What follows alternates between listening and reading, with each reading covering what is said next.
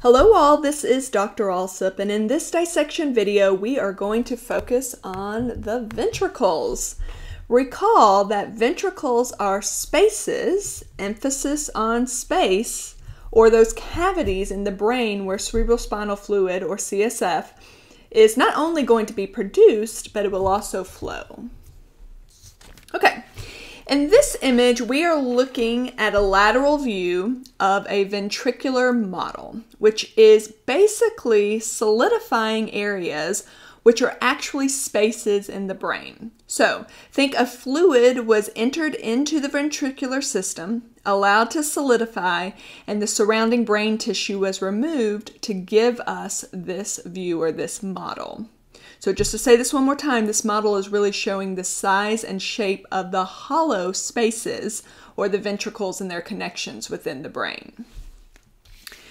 Let's start with the most superior, and these are the paired lateral ventricles, which you can really think of as the first and second ventricles, even though you never hear it that way. You always just hear the uh, lateral ventricles.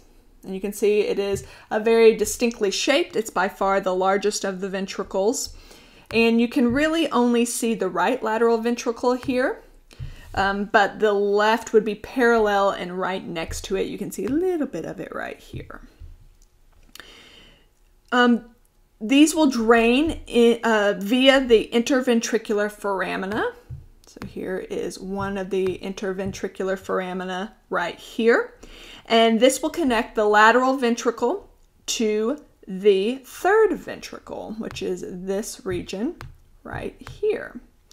And the third ventricle is going to be unpaired and it is in the midline and it has this uh, pretty distinct kind of odd shape here. The third ventricle will drain through the cerebral aqueduct which is a little bit longer, uh, definitely in comparison to the interventricular foramen. And the uh, cerebral aqueduct will connect the third and the fourth ventricles.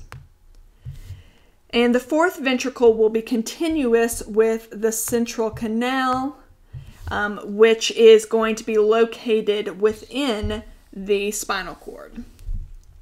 These pink portions kind of throughout this model you can see a little bit of it there. I can see a little bit of it here in the background.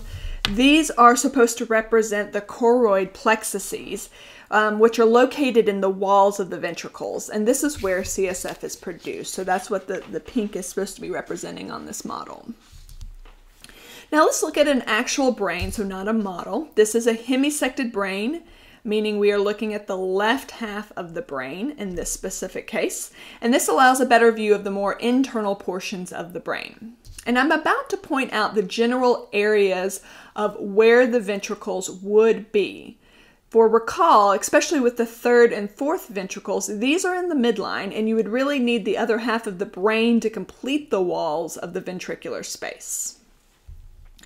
The lateral ventricles are located within the cerebral hemisphere. So if I were to kind of poke through this general region into the cerebral hemisphere, you would be looking into the space that makes up the lateral ventricles. So recall that's going to be associated with the cerebrum.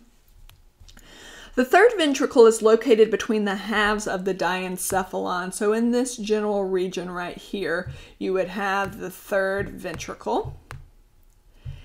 And the fourth ventricle lies between the brain stem and the cerebellum. So this is going to be the general region for the fourth ventricle.